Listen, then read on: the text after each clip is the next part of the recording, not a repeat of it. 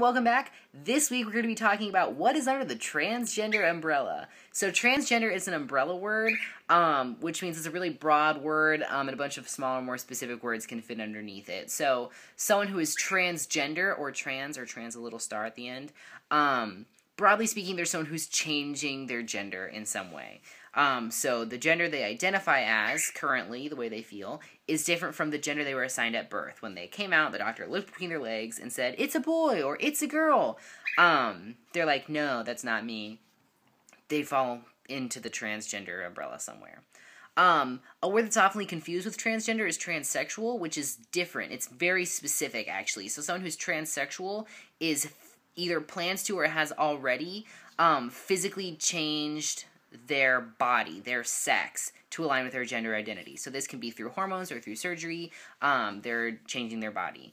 Um, some people don't like the word because they think it's really medical and clinical, so just be careful about using it. And also, not all trans people are transsexual. Some people don't make physical changes to their body, and that's awesome. That's fine. Um, Sometimes you'll hear with those things like MTF or FTM. Those stand for MTF is male to female, and FTM is female to male. Um, that is sort of like a way to help people figure out your transition a little bit. Um, it's important though not to assume that all trans men are FTM or that all trans women are MTF, um, because some people are intersex. Intersex people, um, for whatever reason, when they come out, it's hard for the doctor to classify into the um, into that boy girl binary, which means we need more categories, but someday.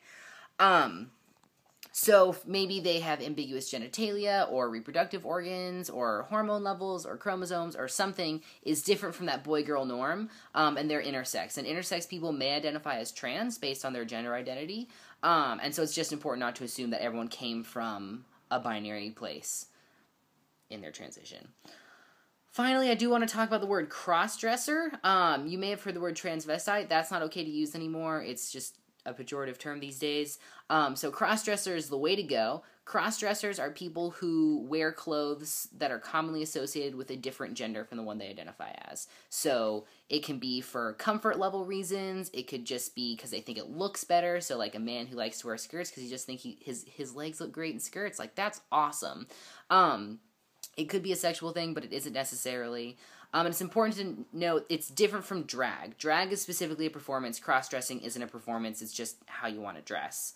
Um, yeah, so that's all for this. I'm going to throw it over to Xander, who's got some really cool non binary terms for you.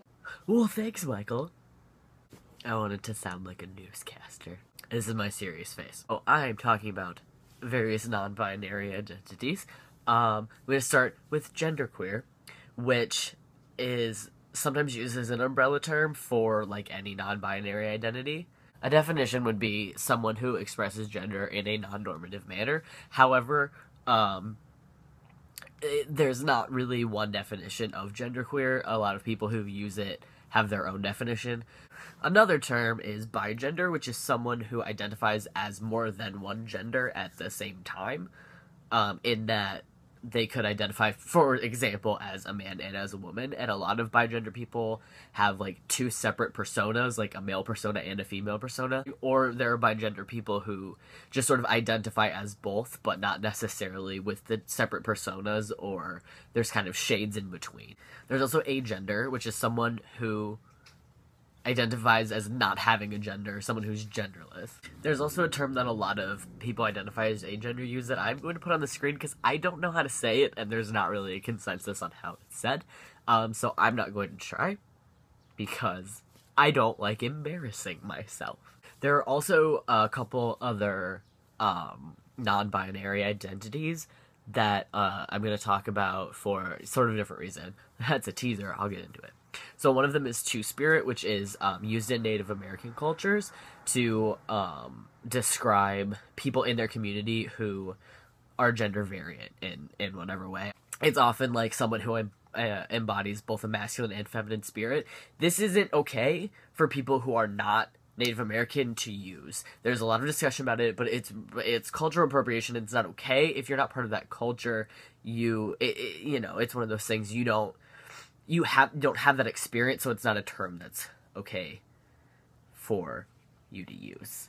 Um, another one is third gender, which there's a lot of people um, in different cultures who are described as third gender, which is like um, the Hijra in India. Um, it is important to know that um, a lot of places they have their own words for this. Third gender is a term basically that white people use to describe um, people in other cultures who didn't fit into the like Western idea of a gender binary. So again, it's not really something that like white people from America should should necessarily be using. That's a nice primer of identities under the transgender umbrella. I will see you guys next week. I'm going to do a video by myself so you get to look at this face the whole time.